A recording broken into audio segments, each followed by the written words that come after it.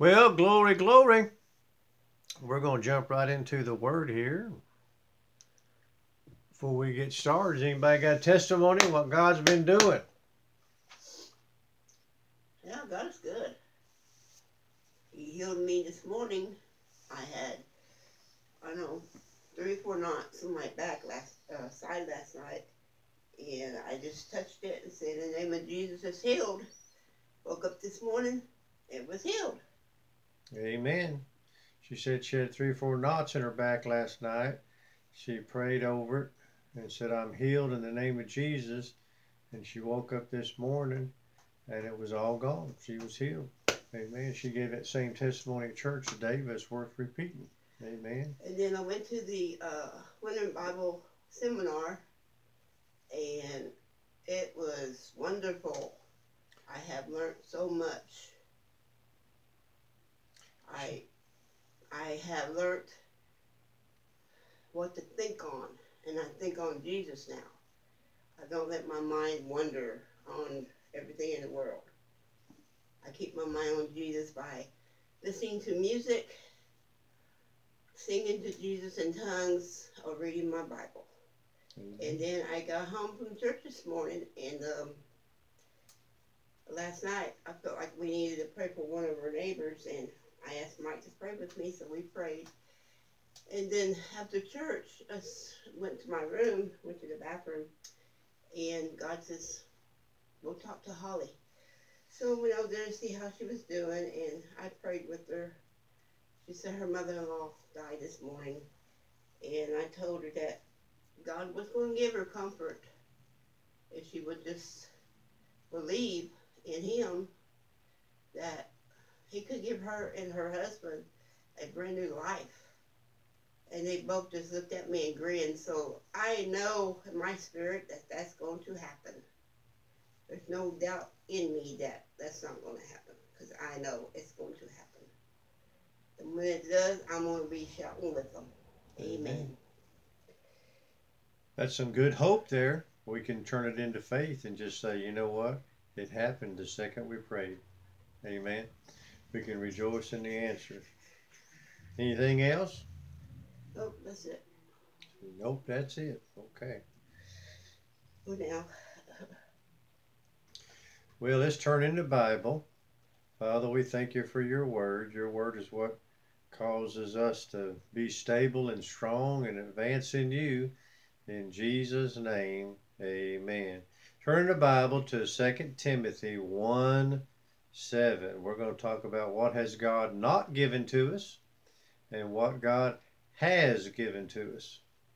There's a lot of people that think God wants to give us something, but they never do emphasize what He's already given, so they don't walk into victory. So let's see what He's already, let's see what He has not given us, then let's see what uh, He has given us. That's 2 Timothy chapter 1 and in verse 7.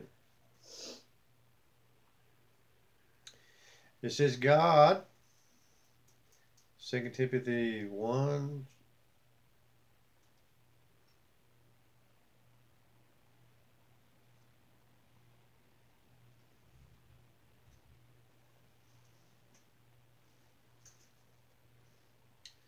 Second Timothy 1 and verse 7. For God hath not given Okay, we're going to find out what he has not given. The spirit of fear. So anything that has to do with fear, worry, anxiety, fretting, um, aggravation, being aggravated, uh, being afraid of the future, or even afraid of your past. Anything that has to do with those elements, that's not God. God's not in condemnation. God's not in guilt, trips. God's not in fear. He has not given that to you. So if you're operating in fear, you're actually operating in something that God has not given you. You're operating in something that the devil specializes in.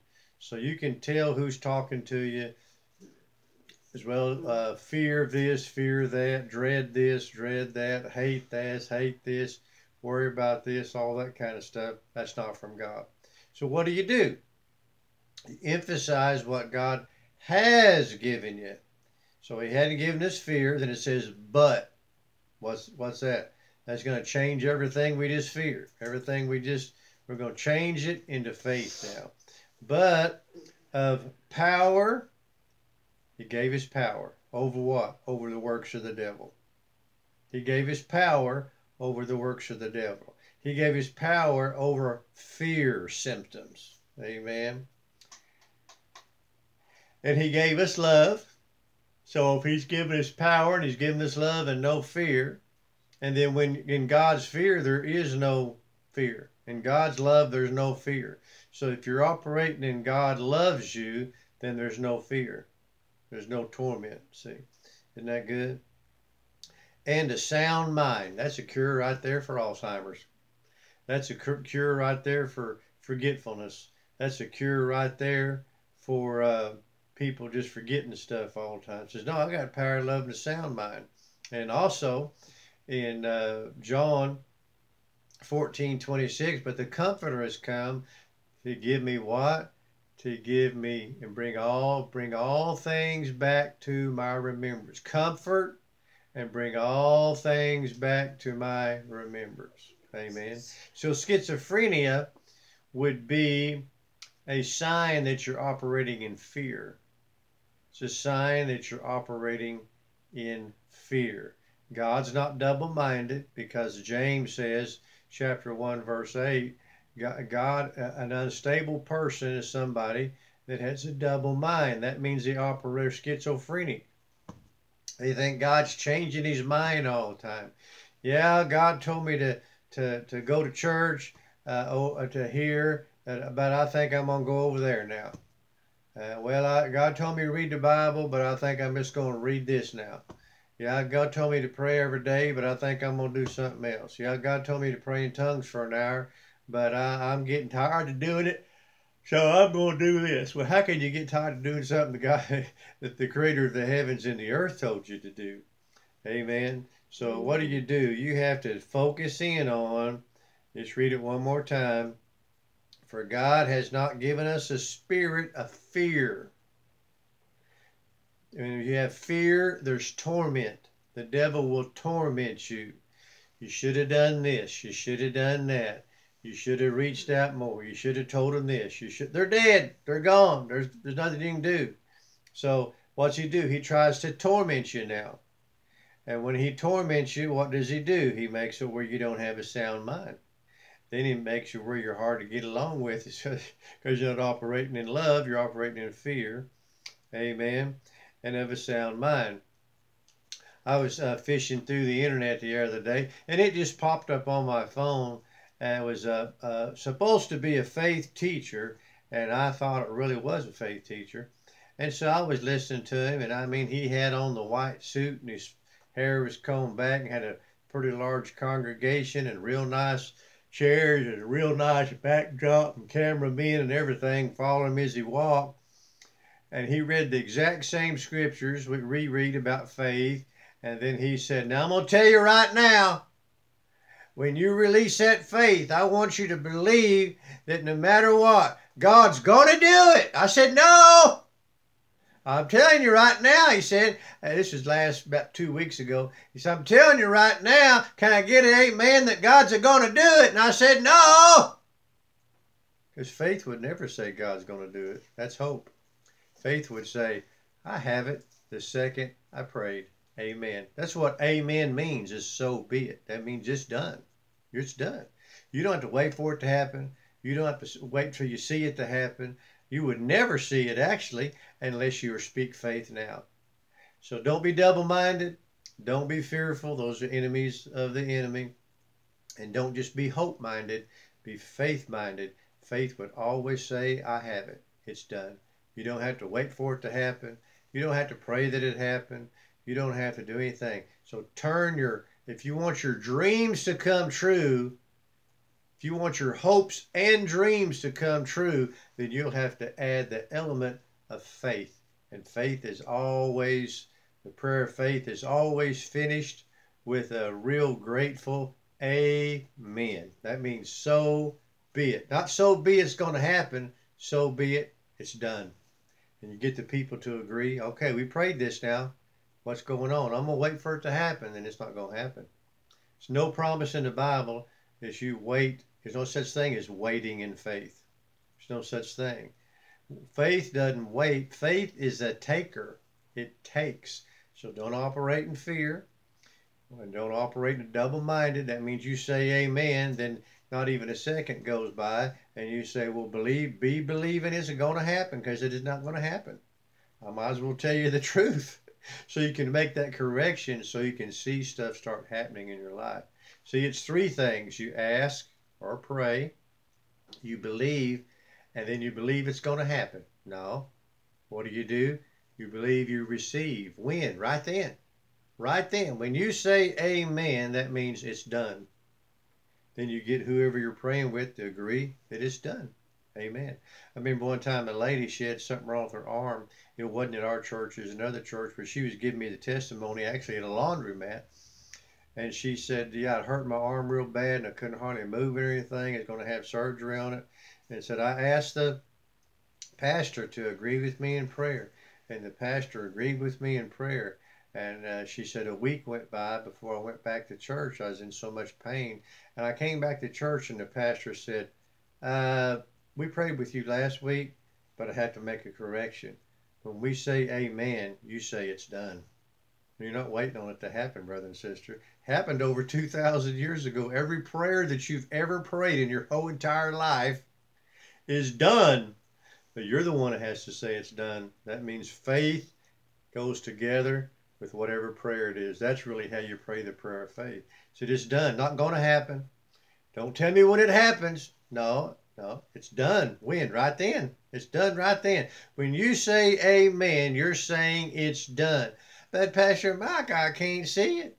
I can't wear it. I can't eat it. I can't use any of my five senses. Right. Faith never goes by what you see. Faith goes about what you say. Do you really want it to be done in the future or do you want it to be done now? Amen. So check your heart, check your brain, check everything and say, you know what? It's done. Amen. It's done. And then every time the devil tries to put fear on it, and you just say, he tells you, oh, it ain't going to happen. It ain't going to happen. You know what you can do? The Bible says to agree with your adversary. I agree, Mr. Devil, it's not going to happen. It happened over 2,000 years ago. I'm rejoicing it's already happened. Hallelujah. And he, uh, he'll back down then. He can't handle, he can't handle faith. Amen. Let's pray tonight together. Father, we thank you that we're receiving Jesus right now. As people on here wants to receive Jesus right now in Jesus' name, just say, Lord Jesus, you're my Lord and Savior. I thank you. I receive you now. I believe that God has raised Jesus from the dead, and he's now Lord and coming again. Praise God. I thank you, Lord. Now that you're born of the Spirit, now you can be filled with the Spirit. And you're filled with the Spirit by simply just saying, Thank you, Holy Spirit. According to Acts 19, that's what you say. According to Acts 19, Paul laid his hands on them, believers, and the Holy Spirit came on them, and they began to speak in tongues. No, the Holy Spirit did not slap them upside the head four or five times and grab their tongue and make it flap around. No, they operated with him. And he gave them an unction, and then they yielded to him. He's not going to make you do nothing. You have to yield and choose to speak in tongues. Amen. The Holy Spirit came on them, and then they began to speak in tongues. Amen. So you've already been born of the Spirit of God when you received Jesus just a few seconds ago. So now you just think, you just say, Thank you, Lord. I received the Holy Spirit with the evidence of speaking in tongues now in Jesus' name, and then just take off. Shorombo sanglegedebo kuchangra katala kasambrota singli kishkom brogo romba sangre da sangra garakiche in Jesus' name. Now I want you to stop. I know you don't want to stop, but I want you to stop. I'm going to show you something. Corinthians, it says, I will pray with my understanding, whatever known language you have. And then it says, and then I will pray and sing in the Spirit. See, it's a choice. You can turn it off and on. You don't have to wait for the excitement. I know some of you's got some excitement, which is good and fine, but you don't have to wait for the excitement to pray in tongues anymore. you can just start praying in tongues. Sho rombo singlingo sangrangishko rombo sangragadila. Amen. To pray for your healing today. I'm going to pray for some people's finances too. You need some miracles in finances. Amen. We're going to pray for your finances here in just a second. Father, we thank you. This is for your healing. Isaiah 53 5, by stripes you're healed. That's what you meditate on. It's not a one time thing. It's just like medicine. You take it every second of every day. Amen. And First Peter 2.24 says, by stripes you were healed. So if you were healed, you are healed. As you say that too. Amen. It's what you say. Your words are power. You win by your words or you lose by your words. So if you want to win by your words, start saying that you're healed in Jesus' name. Well, I don't want to lie. You're not lying. You're telling the absolute truth.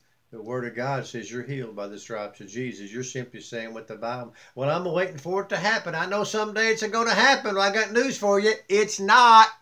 It happened over 2,000 years ago. You're just agreeing that you have what already happened is available for you over 2,000 years ago. Amen. So get the get the get get the it's a going to happen out because that's not faith. You, actually, you need to repent from that. No, it's not a going to happen.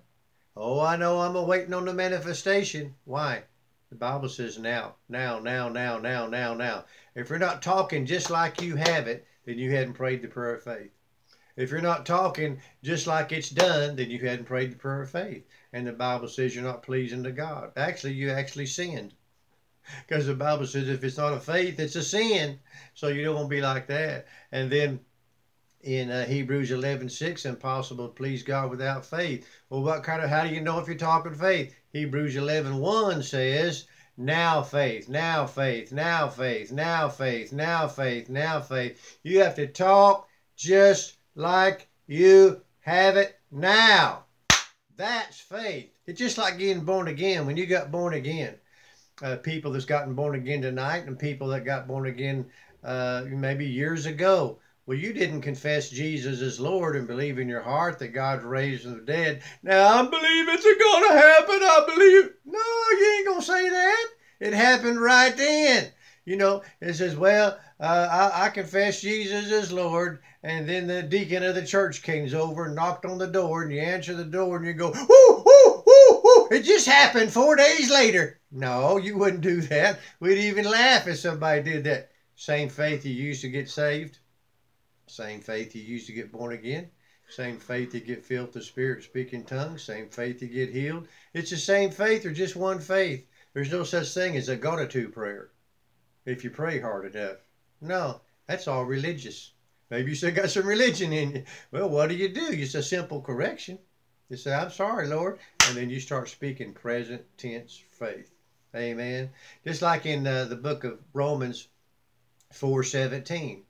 It says, God called those things that were not in the natural world, that you could see, He called it that were not just like they are the way He wants them to be.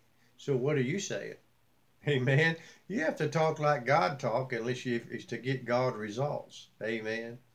Praise God. I'm going to pray for your finances. Father, we thank you that every bill's paid and every need's met in these people's lives and they have an abundance left over in the name of Jesus. Ephesians 3:20. Amen. So be blessed now and you're highly favored already. You might as well enjoy it. Have a good one. Remember down below if you want to drop us a line, give us a testimony. Amen. You'll be glad you did. Tell us your story. Have a great one. Have a good one. God bless.